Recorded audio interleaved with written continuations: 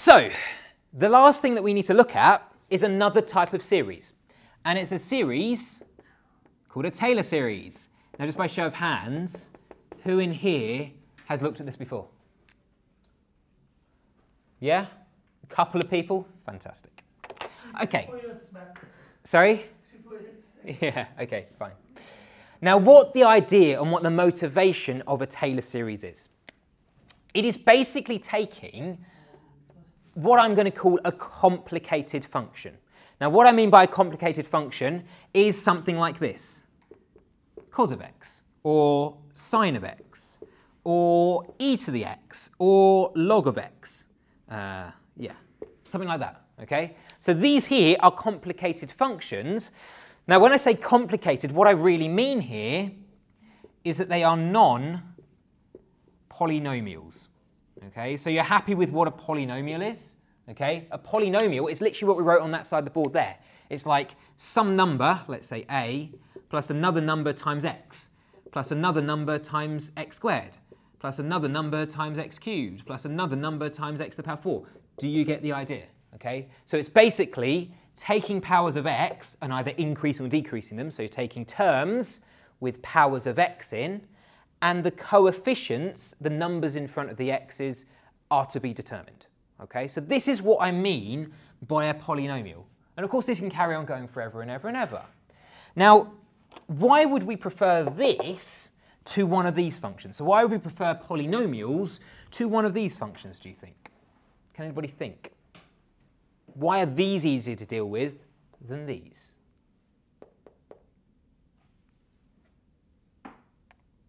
I mean, are you happy they are easier to deal with?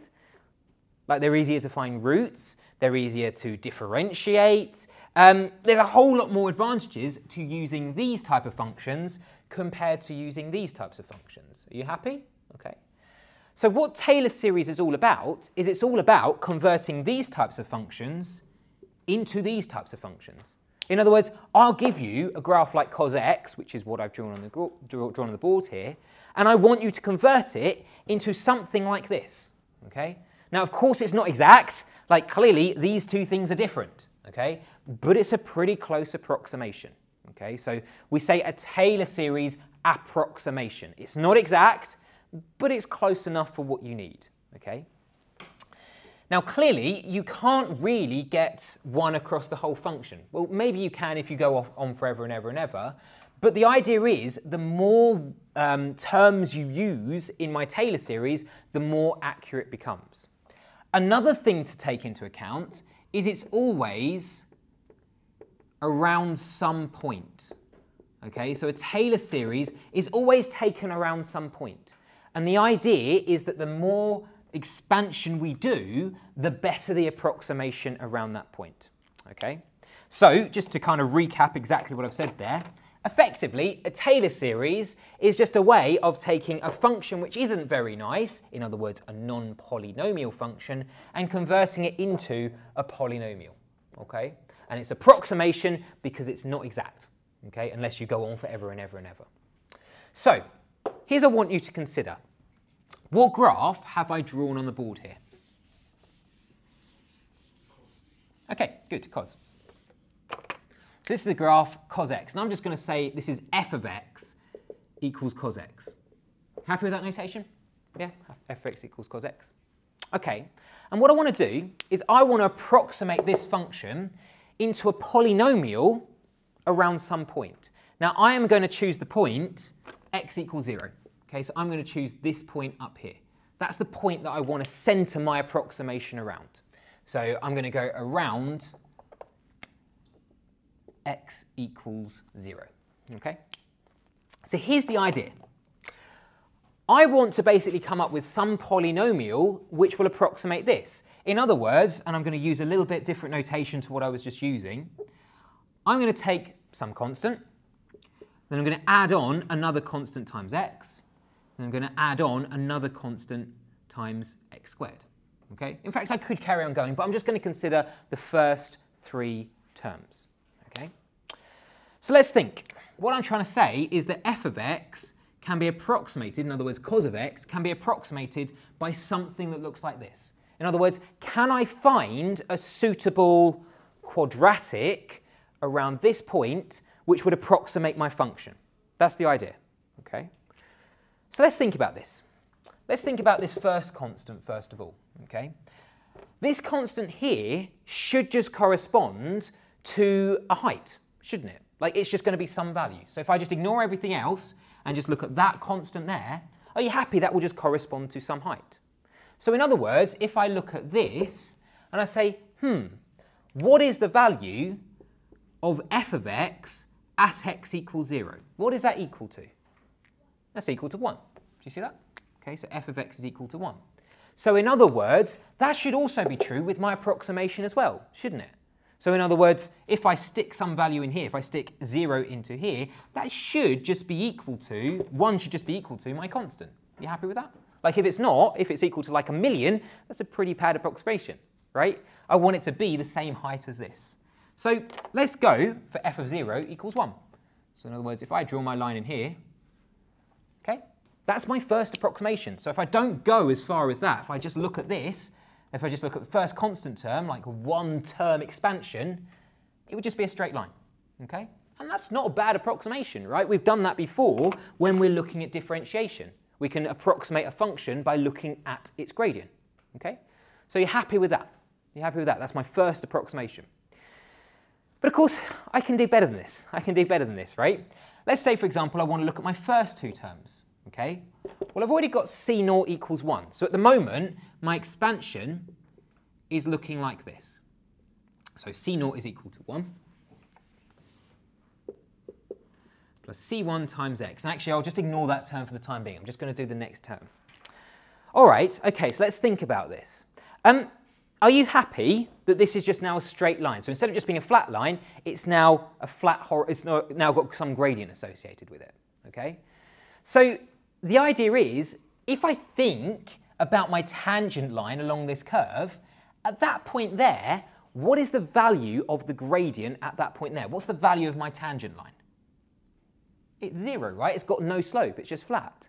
So in other words, if I take this and if I differentiate it, so if I take this and differentiate it, so f prime of x uh, equals cos x, uh, sorry, f prime of x is equal to negative sine x, then at f prime of x equals 0, that should just be equal to, uh,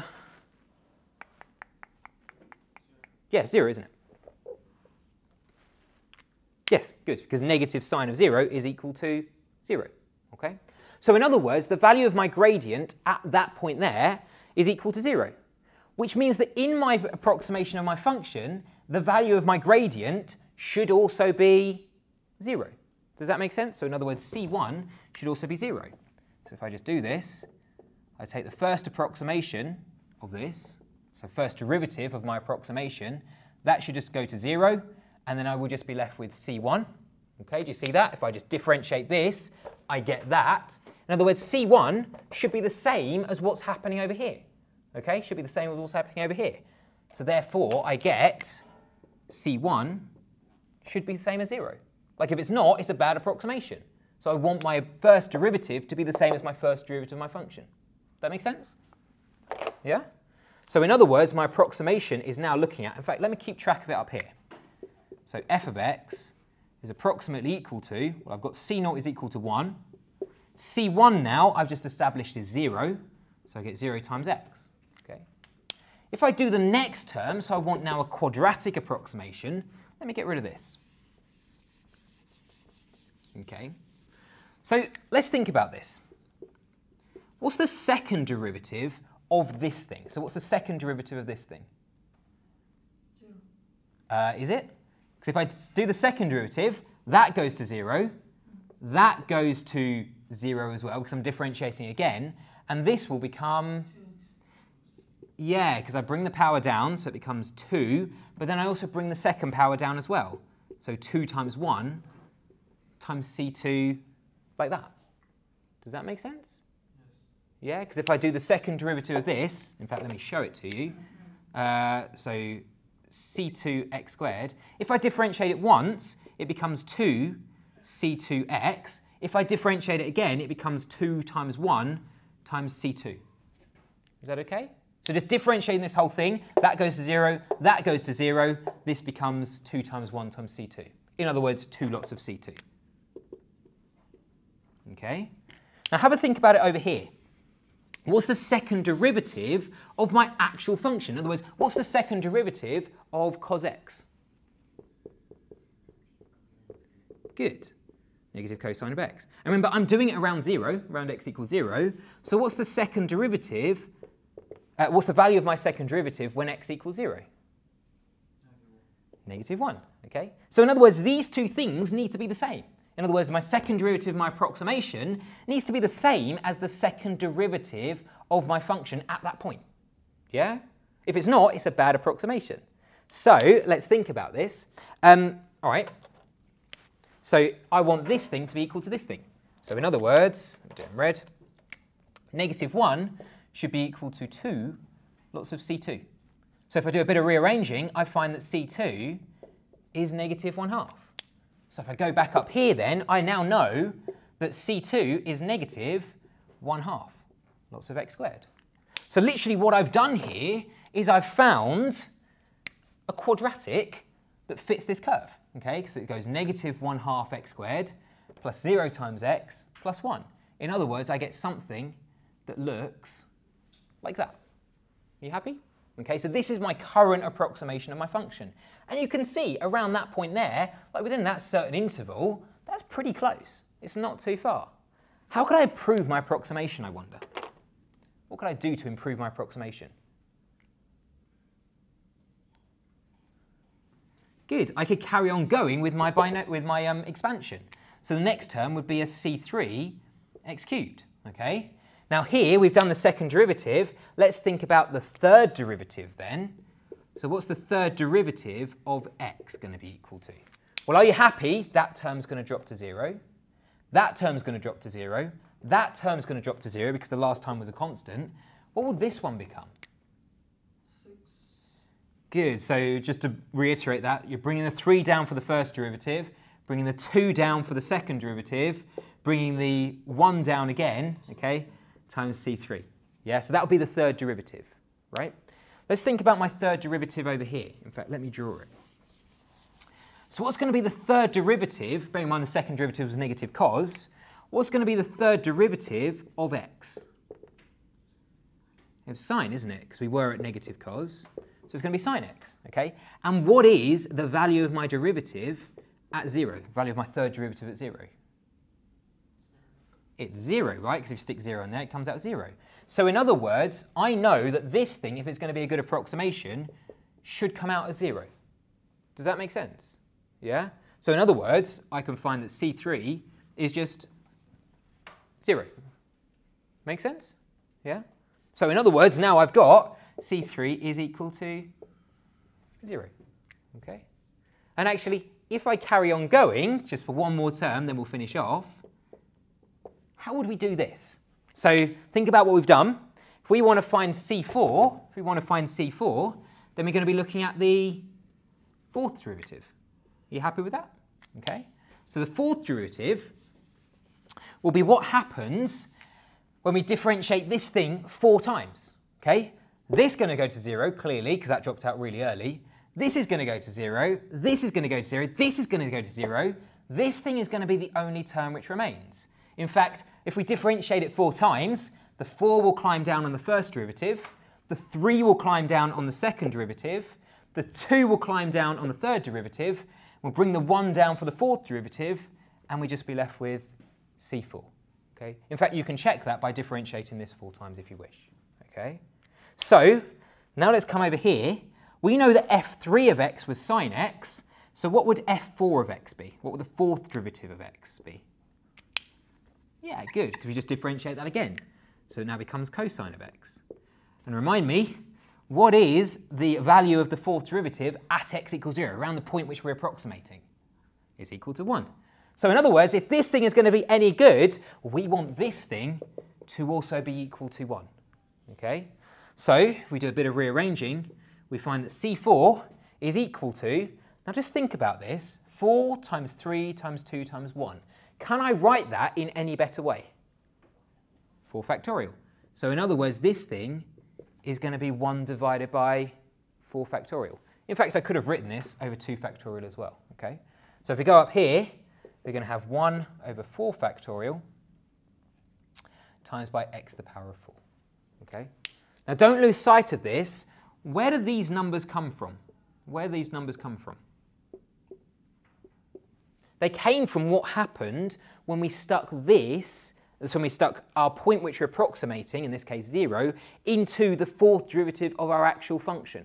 Okay? So if I wanted to generalize this, and this will just be the last thing I promise, if we wanted to generalize a Taylor series approximation, we'd do it like this. Why? Why do we approximate, why do we associate with this with this? Yeah because I'm thinking about what's happening with my derivatives with my actual function. And I'm saying, if I want my approximation to be any good, then I want my derivatives of the relevant um, position in my series to be the same. Like clearly, if this was like a million, then it would be way up here. It would be a rubbish approximation. Okay, I want my line here to be the same as my tangent line here. I want my um, quadratic to be the same as the quadratic there. I want my cubic, if I was going to draw my cubic in, to be approximately the same as that. Okay, I want my quartic, whatever that looks like, to fit this curve as well as I possibly can. Now you notice what I'm literally doing here with every single term that I'm considering is I'm considering a wider, um, kind of a better fit around a wider interval, if that makes sense. So it's like with every term that I consider, like I'm considering more of the function that fits it better. Okay, I'll just finish off on this. I realise I've overrun by four minutes, but uh, we'll finish off on this and we'll meet this again in a few hours' time. Uh, okay, so what we do for this one, we just simply stick the point which we're approximating into our function. Like that's the first like approximation. It's not great, but it's it will do. The next one will be f prime of 0 times x. Okay, think about how we got that, 0. Okay. The next one, well, that negative 1 came from the second derivative approximated at 0. We divided by 2 factorial because that's how we approximated the actual constant there. Remember doing that? So we divided by 2 factorial times x squared. Okay, the next one would be the third derivative approximated at 0 divided by, well, 3 factorial, but we didn't bother considering that because it just dropped out to 0. And then the fourth one would just be f to the power 4 of 0 divided by 4 factorial times by x to the power 4. And in fact, we could carry on going like this. So if I wanted to generalize it, this would be the sum from k equals 0 of the kth derivative of the function considered at the point which I'm after, divided by k factorial, and then you times that by x to the power of k. That's the term which I'm considering. Okay. So that's kind of the generalized form. That's a very, very quick and brief introduction to Taylor series. But effectively, all I want you to take away, two things. Number one, what you're doing is you're taking a not very nice function and you're approximating it into a polynomial, okay? The second thing which you're doing is the more terms you consider in your expansion, the more terms you consider in expansion, the better the approximation of your actual function. So if you consider a million terms, you're going to have a really good approximation for this, okay? Whereas if you can only consider one, it'll do, but it's not great. All right? Any questions? Good, fantastic. We'll finish off there. Thank you very much. I will see you at 3 o'clock.